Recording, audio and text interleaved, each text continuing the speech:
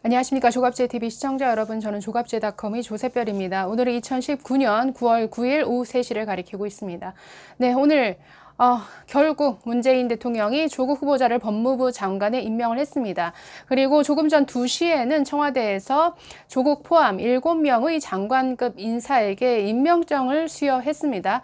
굉장히 이례적으로 임명장 수여하는 것을 생중계했습니다. 하나의 생중계 쇼죠. 왜 이런 쇼를 벌였을까요? 네, 조국 후보자 임명이 정말 국민의 분노, 국민의 여론을 완전히 거스르는 이런 결정이기 때문에 글쎄요 국민의 그런 부정적인 여론을 의식한 하나의 쇼를 벌인 것이 아닌가 그래서 이것 또한 조국 후보자에 대한 뭔가 배려 차원에서 벌어진 일이라 보여집니다. 자 그래서 2시에 임명장 수여식을 마치고 문재인 대통령은 이 문제에 대해서 대국민 담화문을 발표를 했습니다. 자 문재인 대통령의 대국민 담화문 하나하나 한번 살펴보고자 합니다. 네, 담화문 이렇게 시작합니다. 오늘 장관 4명과 장관급 위원장 3명의 임명장을 수여하면서 국민들께 먼저 송구스럽다는 말씀을 드립니다. 이번에도 6명의 인사에 대해 국회로부터 인사청문 경과 보고서를 송구받지 못한 채 임명하게 되었습니다. 헌법상 국회의 동의를 요하지 않고 대통령에게 임명권이 있는 각 부처 장관과 장관급 인사에 대해 국회의 인사청문 절차를 거치도록 한 취지는 청와대의 자체 인사 검증만으로 충분하지 않을 수 있으므로 국회와 함께 한 번 더 살펴봄으로써 더 좋은 인재를 발탁하기 위한 것이라고 생각합니다. 그러나 이번 인사 대상자 7명 중 관료 출신으로 현직 차관이었던 농식품부 장관 후보자 한 명에 대해서만 인사청문 경과 보고서 보고서를 송부받았을 뿐 외부 발탁 후보자 6명에 대해서는 끝내 인사청문 경과보고서를 송부받지 못했습니다. 이런 일이 문재인 정부 들어 거듭되고 있고 특히 개혁성이 강한 인사일수록 인사청문 과정에 어려움을 겪고 있습니다. 이에 대해 대통령으로서 큰 책임감을 느낀다는 말씀과 함께 국회의 인사청문 절차가 제도의 취지대로 운영되지 않고 있고 국민 통합과 좋은 인재의 발탁에 큰 어려움이 되고 있다는 답답함을 토로하고 싶습니다. 저는 이 담화문 초입부터 참 이해가 안 됩니다. 지금 이 사태까지 벌어진 데는 이 문재인 정부의 독선과 오만 고집 때문이죠. 그런데도 불구하고 지금 사과 한마디 없습니다. 지금 국민께 송구합니다. 이 한마디 하고 지금 말하는 게 뭡니까? 이 청문회 제도 탓을 하고 있고 국회 탓을 하고 있죠. 국회 때문에 또는 청문회 제도 때문에 국민 통합이 이루어지지 않고 좋은 인재 발탁에 큰 어려움이 되고 있다. 답답하다. 지금 이게 할 말입니까? 지금 이 조국 후보자 때문에 지금 한 달 가까이 온 국민이 지금 분노하고 있고 너무나 많이 쏟아진 의혹에 정말 피로감을 느낄 정도죠. 어떤 사람들은 이제 조국 후보 얘기만 꺼내도 정말 질려버리겠다라고 할 정도입니다. 지금 조국 후보자 문제로 국민들에게 그리고 또 청년들에게 너무나 많은 분노와 허탈감을 안겨준 정부가 지금 누구 탓을 하고 있습니까? 지금 수많은 사람들, 장관급 인사들이 인사청문회를 거쳐갔음에도 불구하고 왜 네, 인사보고서 채택이 왜 되지 않았습니까? 그게 국회 탓입니까? 국민 탓입니까? 제도 탓입니까? 아니죠. 부적절한 인사를 계속 추천했기 때문이죠. 오로지 선택 기준이 내 편이다. 또는 나와 생각이 같아야 된다. 그런 관점에서 내 편 중에서 사람을 고르려다 보니 너무나 많은 문제를 안고 있는 사람들이 계속 올라왔었죠. 그래서 뭐 위장 전입은 정말 보편적인 일이 돼버렸고 위장 전입, 무슨 부동산 투기, 또 이해 충돌 문제, 그리고 뭐 직권 남용 문제 한두 가지가 아니었죠. 이런 부적절한 인사 선택으로 인해서 불거진 문제를 왜 국회 탓으로 돌리고 왜 청문회라는 제도 탓으로 돌리고 있습니까? 계속 보도록 하겠습니다. 조국 후보자에 대해서 본격적으로 얘기를 합니다. 자, 조국 법무부 장관의 경우 의혹 제기가 많았고 배우자가 기소되기도 했으며 임명 찬성과 반대의 격렬한 대립이 있었습니다. 자칫 국민 분열로 이어질 수 있는 상황을 보면서 대통령으로서 깊은 고민을 하지 않을 수 없었습니다. 그러나 저는 원칙과 일관성을 지키는 것이 더욱 중요하다고 생각했습니다. 인사청문회까지 마친 절차적 요건을 모두 갖춘 상태에서 본인이 책임져야 할 명백한 위법 행위가 확인되지 않았는데도 의혹만으로 임명하지 않는다면 나쁜 선례가 될 것입니다. 원칙과 일관성을 지키기 위해서 조국을 선택했다. 본인에 대한 명백한 위법 행위가 확인되지 않았고 의혹뿐이다. 그렇기 때문에 나는 계속 임명하겠다. 네, 문재인 대통령 대단한 착각을 하고 있죠. 지금 법무부 장관이란 사람이 검찰의 수사 대상이 되었습니다. 수사 대상에 있는 사람이 검찰에 대한 인사권을 가진 법무부 장관에 앉는다? 이건 누가 봐도 코미디죠. 그리고 조국 후보자의 명백한 위법 행위가 드러나지 않았다? 아니요, 점점 드러날 것입니다. 지금 조국 후보자에게 쏟아진 모든 의혹들이 지금 사실로 지금 드러나고 있죠. 몇 가지 예만 들어보더라도 오늘 뭐 정경심 교수 기소에 이어서 오늘은 사모펀드와 관련한 관련자들이 어, 구속영장이 청구가 됐습니다. 예를 들어서 네, 뭐 사모펀드 운영에 관여한 바가 없다라고 하지만 예, 직접적으로 관여했을 가능성이 굉장히 커지고 있습니다. 오늘 코링크 PE 이모 대표 그리고 코링크 PE로부터 투자를 받은 웰스 CNT 최모 대표에 대해서 구속영장이 청구가 됐는데 이 문제와 관련해서 조 후보자 부부 모두에 대한 지금 자본시장법 위반 혐의 가 굉장히 짙어지고 있는 상태입니다. 그리고 백지 신탁 어, 의무를 우회해서 사실상 직접 투자를 했을 가능성이 굉장히 높다는 점에서 조 후보자 자신의 공직자 윤리법 위반 혐의도 굉장히 짙어지고 있는 이러한 상태입니다. 이뿐 아니죠. 조 후보자가 일했던 서울대 공익인권법센터에서 2006년부터 지금까지 발급된 28장의 인턴 증명서를 지금 자유한국당 주광덕 의원이 공개를 했습니다. 자, 그런데 유독 2017년 조 후보자 아들에게만 발급된 어, 이러한 증명서가 있는데 양식이 전혀 다릅니다. 게다가 생전 듣도 보도 못한 인턴 예정 증명서까지 2013년 서울대에서 발급을 해줬습니다.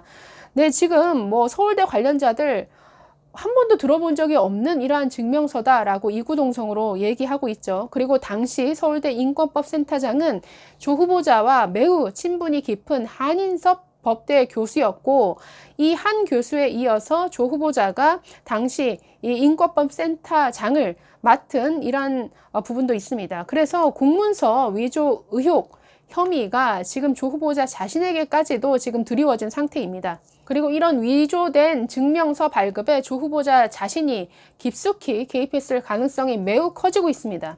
뿐만 아니라 딸에게 지급된 이 동양대 가짜 총장상 의혹과 관련해서도 지금 이 문제가 불거지면서 정경심 교수 그리고 조국 후보자 최성해 총장에게 뭐 15번이 넘는 통화와 문자를 보냈습니다. 그리고 그 문자 내용만 보더라도 굉장히 이 문제가 확대되지 않도록 보도되지 않도록 굉장히 많은 압박을 가하고 있는 것을 엿볼 수가 있었습니다.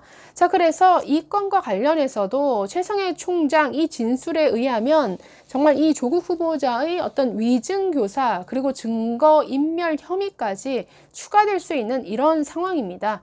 그래서 이런 각종 불법 혐의에 깊이 연루되어 있는 이런 자를 검찰의 수사를 받아야 될 이런 사람을 법무부 장관에 앉히겠다. 이런 발상이 법치주의 국가에서 나왔다라는 것 자체가 정말 세계적 망신감이죠. 그런데 아직까지 위법 행위가 어떤 사법 당국에 의해서 확정되지 않았기 때문에 나는 계속 고우하겠다. 자, 그러면 확정되지 않은 상태에서 박근혜 전 대통령은 어떻게 탄핵을 했습니까?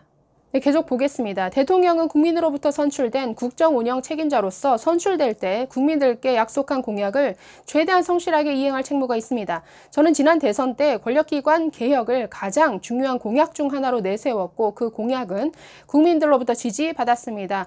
저는 대통령 취임 후 그 공약을 성실하게 실천했고 적어도 대통령과 권력기관들이 스스로 할 수 있는 개혁에 있어서는 많은 성과가 있었음을 국민들께서 인정해 주시리라 믿습니다. 글쎄요.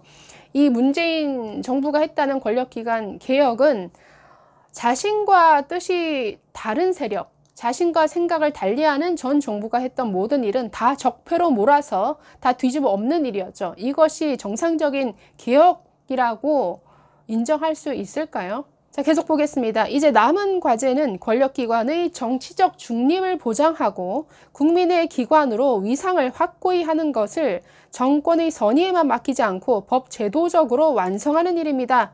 저는 저를 보좌하여 저와 함께 권력기관 개혁을 위해 매진했고 성과를 보여준 조국 장관에게서 그 마무리를 맡기고자 한다는 발탁 이유를 분명하게 밝힌 바 있습니다. 그 의지가 좌초되어서는 안 된다고 생각합니다. 이 점에서 국민들의 넓은 이해와 지지를 당부드립니다.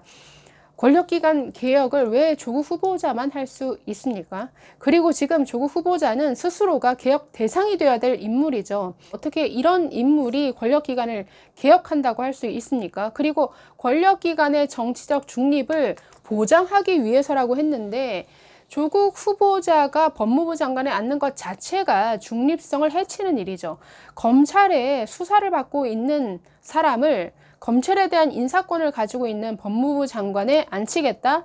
이 결정 자체가 정치적 중립을 매우 훼손하는 일입니다. 그렇기 때문에 당장이라도 지금 철회되어야 할 그런 결정입니다. 자, 계속 보시면 가족이 수사 대상이 되고 일부 기소까지 된 상황에서 장관으로 임명될 경우 엄정한 수사에 장애가 되거나 장관으로서 직무 수행에 어려움이 있지 않을까라는 염려가 많다는 것도 잘 알고 있습니다.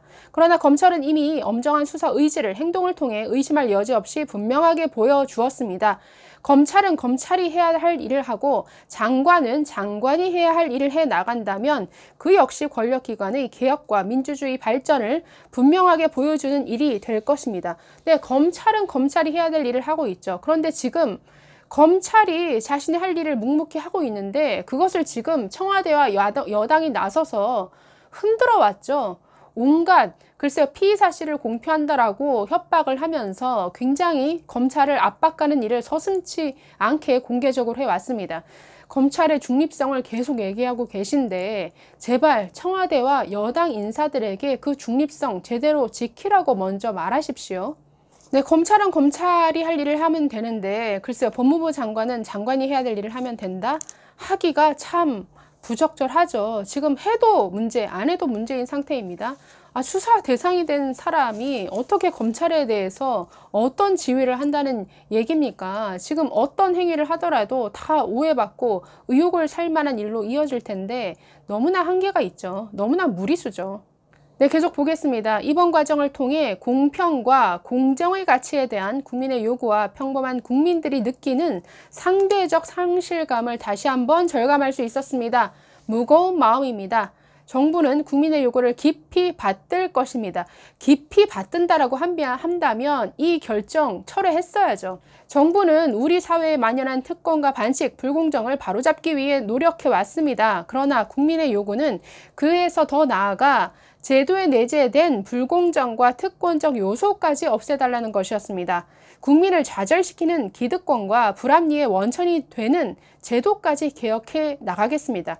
참 여기서 너무나 웃기는 일이 발생하고 있죠. 지금 특권과 반칙, 불공정, 이 지금 조국 후보자 그리고 그 가족이 보여주고 있는 모든 행태들이 특권이요, 반칙이요, 불공정입니다. 그런데 이 개인의 문제를, 이 가족의 문제를 지금 제도의 문제로 지금 돌리고 있습니다. 그러면서 이 개인이 나빠서가 아니라 제도 자체가 나빠서 그런 거니까 이 제도 자체를 개혁하면 될 것이다. 아니 이것은 무슨 도둑질을 해도 아니면 살인을 저질러도 그 살인자가 잘못한 것이 아니라 우리 사회가 잘못된 것이야. 그래서 우리 사회가 어, 변해야 돼. 우리 사회를 개혁해야 돼. 뭐 이런 논리와 같은 것이죠. 지금 쏟아진 의혹만을 보면 이 조국 후보자 그리고 그 가족들이 보여준 정말 그동안 걸어온 길 자체가 특권 반칙 불공정이죠. 이 제도와 법의 허점을 교묘히 이용해서 자신들의 어떤 출세와 이익을 위해서 정말 이용하고 또 그것을 누려왔다는 것인데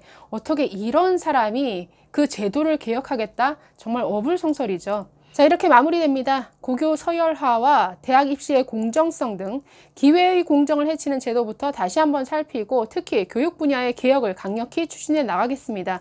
정말 유체 이탈입니다. 누가 누구를 개혁하겠다라는 것인지. 자, 오늘 조국 후보자의 임명을 알리는 여러 뉴스에 달린 댓글 중에 참 기억에 남았던 댓글은 뭐 이런 것이었습니다. 어, 문재인이 이 대한민국을 버렸으니 이제는 대한민국이 문재인을 버려야 할 때다. 이 댓글이 정말 기억에 남았는데요.